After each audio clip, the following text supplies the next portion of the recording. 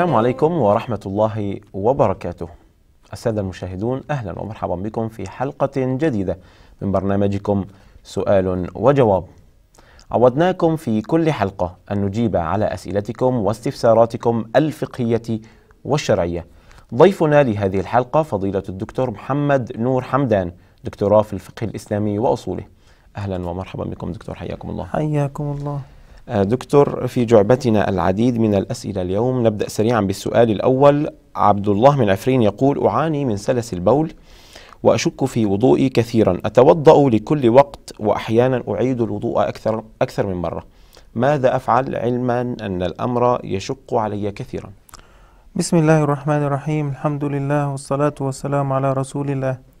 آه، بالنسبة لهذه الأمراض آه، التي يعاني منها بعض الناس كسلس البول وأنفلات الريح والمستحاضة. هذه آه، الحالات التي تكون أمراض فيها أمراض دائمة يتوضأ لوقت كل صلاة ويصلي ويتوكل على الله. ولا ينظر إلى الوساوس التي تأتيه لأن هذه الوساوس تشغله عن الصلاة. فهو يتوضأ لوقت كل صلاة كما أخبر النبي صلى الله عليه وسلم بالنسبة للمرأة المستحاضة. فقال لها توضأي لوقت كل صلاة وتصلي وهو يصلي أيضا ويقبل الله عز وجل منه. آه ولكن يعني هذه الوساوس هي عوارض شيطانية فلا يلتفت إليها. فعندما جاء رجل سأل النبي صلى الله عليه وسلم هذا السؤال فقال له لا تنصرف من صلاتك حتى تسمع صوتا أو تجد ريحا. فما دام هو لم يسمع صوت لم يجد ريح أو عنده سلس بول دائم فيتوضأ لوقت كل صلاة. السؤال الآخر دكتور يقول أو تقول السائلة في ذمتي قضاء من رمضان السابق. الآن لا أستطيع القضاء لكوني حامل وولادتي. أيضا ستكون في شهر رمضان إن شاء الله. ماذا أفعل؟ الأصل في قضاء رمضان أن يبادر الإنسان بالنسبة للقضاء وأن يعجل القضاء وذلك من أجل أن يبرئ ذمته. تماما كالدين. الإنسان إذا استطاع أن يوفي دينه فلا بد أن يوفيه فهو لا يعلم ما يطرأ له في المستقبل. قد يموت قد يعجز عن الصيام فلا بد أن يبرئ ذمته أمام الله عز وجل في ذلك. الآن بعض الناس يتأخرون في قضاء رمضان حتى يأتي رمضان آخر. فجمهور العلماء قالوا هذا فيه إثم لأنه أخر القضاء وكان معه متسع من الوقت في هذه السنة حتى يقضي. فماذا يفعل إذا جاء رمضان آخر ولم يقضي بالنسبة لرمضان الأول؟ جمهور الفقهاء قالوا يقضي ما عليه من الأيام ولا, ولا يسقط ذلك القضاء ولكن يدفع كفارة معه أيضا. أما الحنفية فقالوا آه، يقضي فقط ولا يدفع كفارة. الآن هنا ما نفتي فيه هذه السائلة. إذا كان هناك حرج وإذا كان هناك أصيبت بمشقة مثلا كانت حامل ثم أصبحت حامل مرة أخرى ولم يكن هناك معها وقت في هذه السنة أن تقضي ما عليها من رمضان فتقضي عند انتهاء شهر رمضان الآخر ويعني نسأل الله عز وجل أن يتقبل منها. في نفس السياق دكتور سائلة أيضا تقول في ذمة قضاء لم أتمكن من القضاء بسبب انشغالي في العمل والكسل, والكسل أحيانا. أيضا أعاني ألما شديدا في الرأس. نعم. هنا ماذا تفعل؟ آه أيضا آه، بالنسبة لها يجب عليها أن تقضي.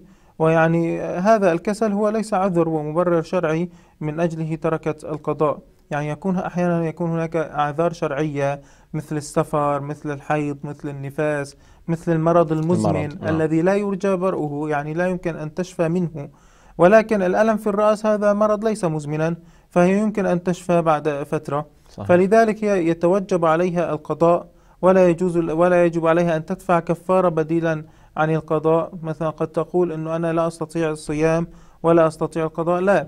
هذاك المرض, المرض الذي لا يستطيع الإنسان أن يشفى منه المرض المزمن فهذا آه، يدفع كفارة. أما هذه السائلة فلا بد لها من أن تقضي تلك الأيام. سؤال أيضا دكتور آه، يقول السائل متى يجوز للمسلم أن يجمع الصلاة؟ بالنسبة للجمع الصلوات وهو أن يجمع صلاة الظهر مع العصر وأن يجمع المغرب مع العشاء وقد يكون جمع تأخير آه، وقد يكون جمع تقديم أن يصلي مثلا العصر في وقت الظهر أو يؤخر الظهر إلى وقت العصر. وكذلك في المغرب والعشاء قال اتفق الفقهاء على حالات آه، يجوز فيها الجمع. وهي في حالات السفر وفي حالات المطر وفي حالة الخوف. أما آه، هناك مثلا بعض الأعذار هل يجوز فيها الجمع أم لا يجوز فيها الجمع كالمرض مثلا والإغماء؟ هذه اختلف فيها الفقهاء. لذلك نحن آه، نتكلم بما اتفق فيه الفقهاء آه، في حالة السفر آه، يجوز الجمع في حالة المطر يجوز الجمع. أما في حالة المرض وهذه الأمور لا يجوز فيها الجمع. إلا إذا كان هناك مشقة وهذه المشقة زائدة وحاجة ملحة في هذا الموضوع فيمكن أن يكون هناك جمع في هذه الحالة. وطبعا عندنا أيضا في الحج في عرفة وفي مزدلفة نعم. هذا ما اتفق عليه الفقهاء بالنسبة للجمع. سؤال دكتور تقول السائلة تزوجت قبل عشرة أعوام ولم أقبض مهري حتى الآن. زوجي الآن يريد دفعه لي بالع- بالعملة السورية كما ورد في العقد. هل يجوز له ذلك علما أن العملة قد انخفض ثمنها ولم يعد لها قيمة؟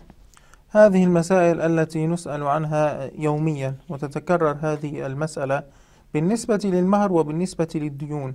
فالمهر هو يعتبر دين ممتاز هو مثله مثل باقي الديون التي تترتب في الذمة. في ذمة الزوج فلذلك الرجل عندما يقول أن مهر زوجته مثلا ولنفترض مئة ألف ليرة مئتي ألف ليرة وتكون غير مقبوضة هذا المهر فترتب دينا في ذمته ويتوج- ويت- ويتوجب عليه أن يفي هذا الدين.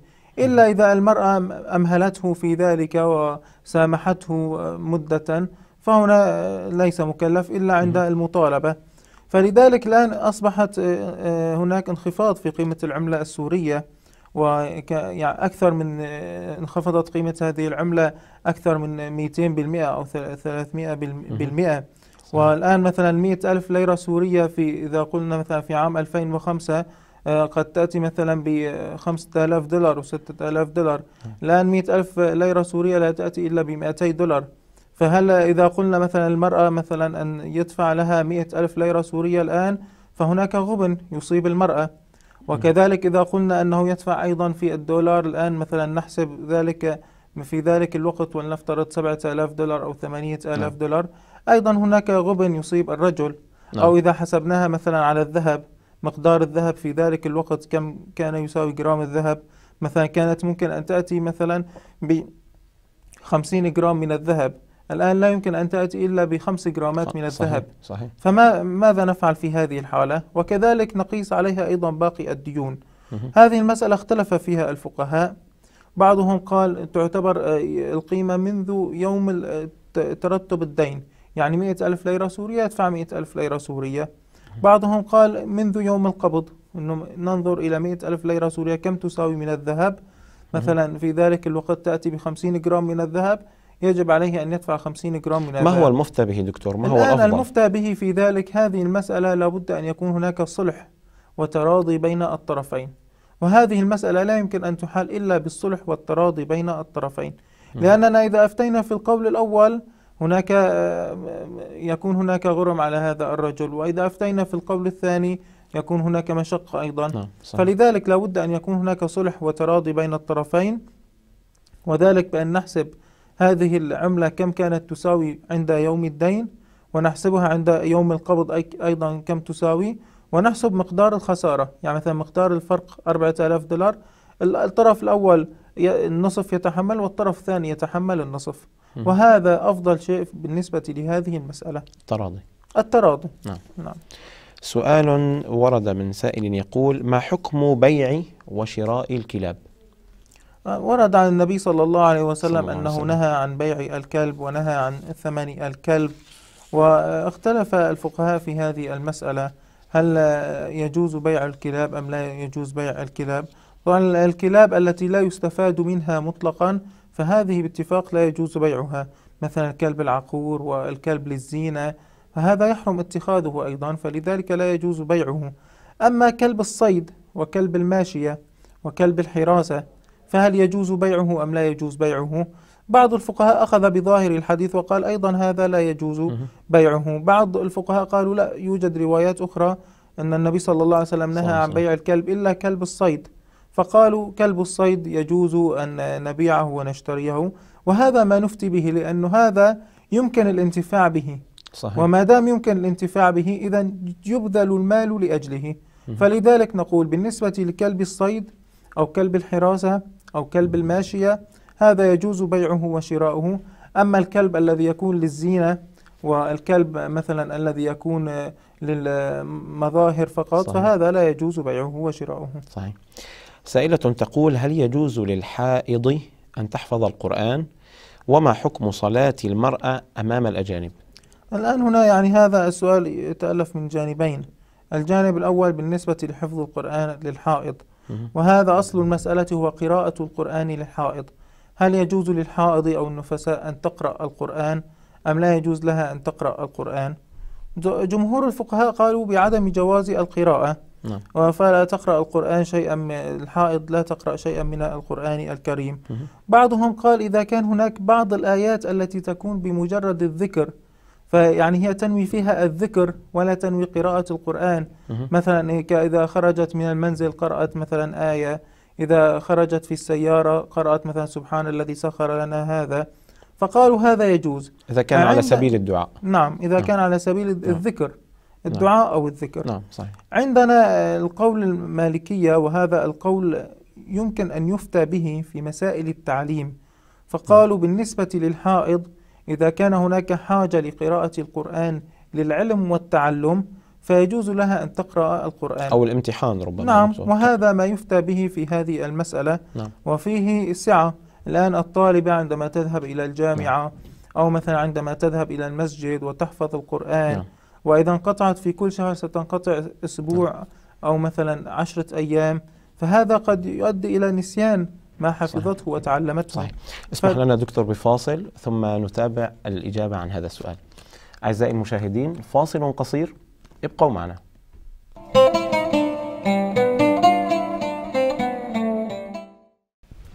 أهلا بكم مشاهدينا مجددا في القسم الثاني من هذه الحلقة من برنامج سؤال وجواب. دكتور كنا نتحدث عن حكم حفظ القرآن بالنسبة للحائض. إذا يعني ما نفتي به بالنسبة للحائض إذا كانت تتعلم لحاجة العلم والتعلم وتذهب إلى المسجد فيجوز لها أن تقرأ القرآن لحاجة العلم والتعلم وتقصد به العلم والتعلم. وهذا فيه سعة بالنسبة لهم. آه، الشق آه، الثاني دكتور من السؤال آه، تسأل عن حكم صلاة المرأة أمام الأجانب. بالنسبة لصلاة المرأة أمام الأجانب لا مانع منه. وخاصة أنه ما روي عن النبي صلى الله عليه وسلم أنهم. كانوا يدخلون يدخلن إلى المسجد فيصلي الرجال في الصف الأمامي ثم الأطفال ثم النساء. وأيضا في الحج الآن نرى مثلا المرأة تصلي فلا مانع من هذه الصلاة والله ما لم. يكن هناك كشف للعورة أو كذا. طبيعي الصلاة نعم، يعني من. شروط الصلاة أن تستر العورة. صحيح. فإذا كشفت العورة سواء أمام الرجال أو أمام النساء لا يجوز. صحيح. فلذلك لا مانع منه. وهذا مما انتشر من الأفكار المغلوطة بين الناس. وهذا ما يسمى باللباد كتاب اللباد. أن المرأة لا يجوز لها أن تصلي أمام على الرجال العباد. الأجانب. و... ويعني صحيح. صلاتها غير صحيحة. لا صلاتها صحيحة وتصلي ولا حرج. وتدعو لنا. إن شاء الله. آه، سؤال يقول صاحبه هل يجوز مس المصحف بدون وضوء؟ يقول تعالى لا يمسه إلا المطهرون.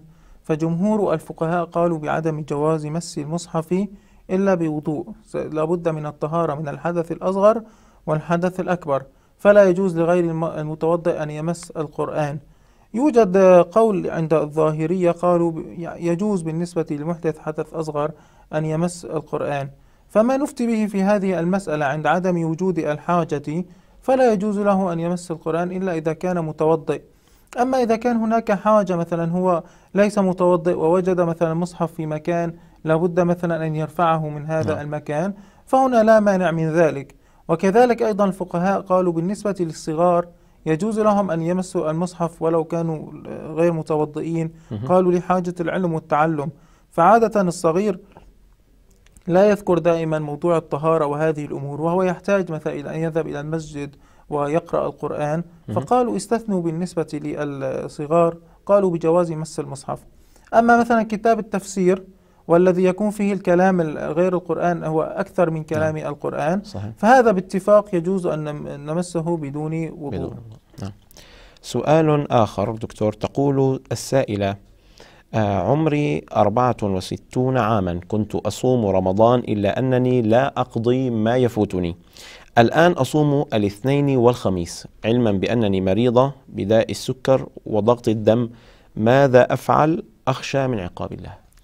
بالنسبة لقضاء رمضان كما قلنا الأولى والأفضل والواجب أن يسارع الإنسان إلى القضاء حتى لا يصل إلى هذه الحالة يبلغ سنا معينة صحيح. أو يمرض مرضا مزمنا ولا يستطيع أن يقضي ما فاته فيكون مقصرا في هذه الحالة الآن السائلة تقول أنها تستطيع أن تصوم يوم الاثنين والخميس فهي تحسب ما كان عليها من قضاء وتصوم هذه الأيام حتى يغلب على ظنها أن الذمة قد أصبحت بريئة من ذلك. ولكن الآن إذا هي تقول أنها أيضا تعاني من أمراض كثيرة يعني مرض السكر ومرض الدم. والله عز وجل لا يكلف نفسا إلا وسعها. فإذا كانت أيضا تجد مشقة زائدة في موضوع الصيام وكانت الأمراض معها مزمنة لا يرجى شفاؤها منها فيمكن أيضا أن تدفع كفارة عن الأيام التي أفطرتها. ونسأل الله عز وجل أن يتجاوز ويعفو عنها في ذلك. وفي هذه المناسبة دكتور غفور رحيم. ندعو لها وندعو جميع السادة المشاهدين للدعاء لهذه الأخت عسى أن نعم. يشفيها الله عز وجل ويفرج عنها. آمين. يعني لكن هي أيضا لا تتحرج كثيرا فالله لا يكلف نفسا إلا وسعها. صحيح. وهذا الدين يسر ولا يشاد الدين أحد إلا غلبه. فالله عز وجل غفور رحيم. هي المهم أن يكون عندها النية, النية صحيح. وأن تعزم على آه، قضاء ما فاتها. والله عز وجل غفور في ذلك. صحيح. سائلة تقول نذرت لله أن أصوم شهرا متتابعا. صمت منه عشرة أيام ثم توقفت. فهل أتابع أم تجب علي الإعادة منذ البداية؟ بالنسبة لنذر الصيام وكانت هي نذرت أن يكون متتابعا شهر متتابع. حددت ذلك بالنص.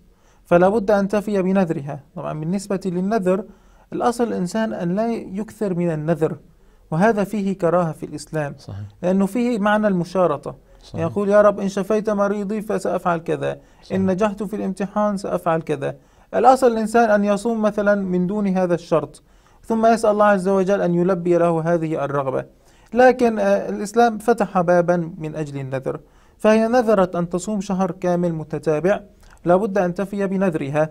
الآن إذا قطعت هذا التتابع فمثلا أفطرت بعد عشرة أيام ماذا تفعل في هذه الحالة؟ إذا أفطرت بعذر مثلا آه، أصابها حيض أصابها نفاس كان هناك سفر فهذا لا يقطع التتابع. ويعني تتابع من بعد مثلا ما انتهت من مرضها تتابع مثلا بقي عليها 20 يوم تتابع ال 20 يوم. أما إذا قطعته بغير عذر فهنا هذا آه، بغير عذر يقطع التتابع ولا بد لها أن تعيد من الأول وتعيد صيام شهر كامل. جزاكم الله خيرا دكتور. سائل آخر يقول لدي مبلغ من المال أود الاستفادة منه. عرض علي أحدهم أن أقوم بتشغيل الماء معه في مصنع آه للمال معه في مصنع للحقائب. يقول حدد لي هذا الشخص مبلغ ربح ثابت شهريا. ويقول بأن هذا الرجل تذرع بعدم قدرته على حساب الأرباح وكثرة الصادرات والواردات بالنسبة لصندوق المعمل. هذه الشركة تسمى شركة مضاربة. وذلك بأن يدفع رجل مال لرجل آخر والرجل الثاني هو الذي يتاجر في هذا المال. فالعمل من رجل والمال من رجل من آخر. آخر. وقال الفقهاء في هذه الشركة لا يجوز تحديد ربح مبلغ ثابت. يعني أنا أدفع لشخص أقول له هذه مئة ألف على أن تعطيني في كل شهر آه، ألف ليرة. قالوا هذه الشركة فاسدة لأن فيها ربا ولا يجوز له أن يدفع ذلك. وإنما يكون الاتفاق بنسبة مئوية. أن يقول له مثلا دفعت لك مبلغ مئة ألف أن أخذ على أن أخذ منهم مبلغ عشرة بالمئة من الأرباح. نعم. وكذلك أيضا إذا خسرت الشركة فالخسارة تكون من جانب المال والعامل هو الذي يخسر عمله وجهده وتعبه. فالشريعة الإسلامية في بالنسبة لمسائل الاقتصاد قامت على التوازن بين الطرفين بحيث لا يكون هناك غبن من طرف لآخر. فإذا هذا الشخص حدد عليه مبلغا ربما الشخص الآخر يخسر. ربما لا يستطيع أن يدفع هذا المبلغ. صحيح. فلا يجوز ذلك وهذه الشركة فاسدة. بل لابد له أن يحدد له نسبة مئوية ويحسب ذلك على الربح والخسارة. فإذا خسر أيضا يخسر من المال في ذلك.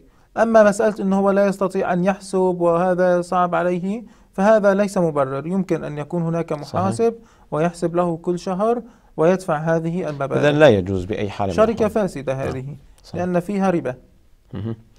سائل آخر يقول أعمل في الخليج منذ عدة سنوات هل على الرواتب التي أتقاضاها زكاة علما بأنني أدخر جزءا منها فقط بالنسبة لمسألة الأموال والرواتب هل يجب فيها الزكاة أم لا يجب فيها الزكاة هذا ننظر فيه بالأصل بالنسبة لزكاة الأموال لا بد فيها من تحقق شرطين اثنين.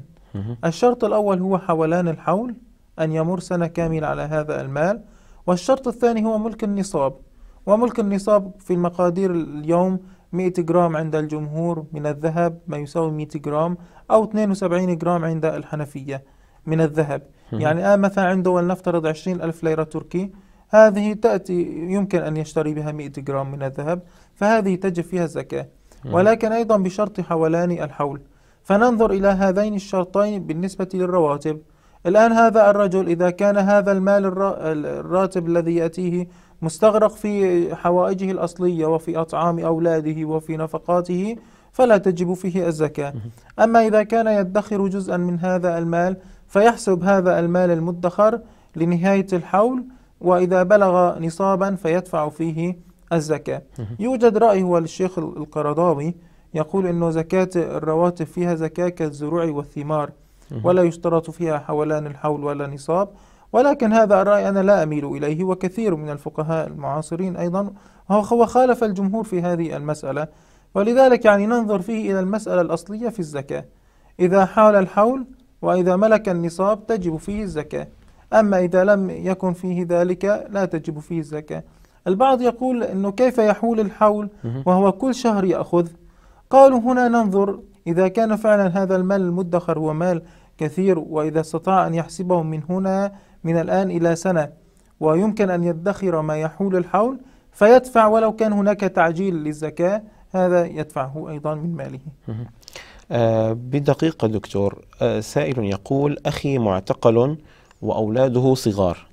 لا معيل لهم غيري ولديهم ذهب بلغ النصاب فهل عليه زكاة؟ بدقيقة دكتور هذا الذهب هو من الأموال النامية فتجب فيها الزكاة ولو كانت مدخرة.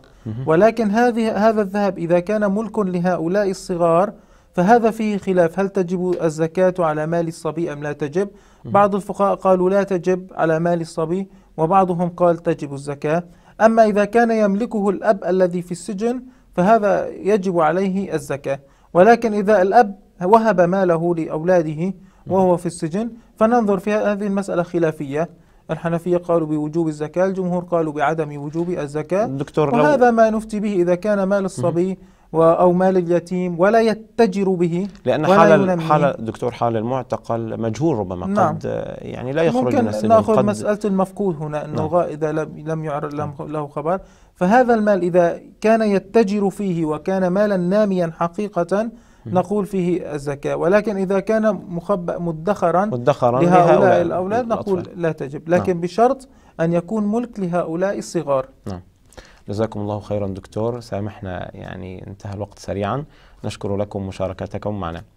وأنتم أعزائي المشاهدين نشكر لكم حسن متابعتكم. نستودعكم الله. السلام عليكم ورحمة الله تعالى وبركاته.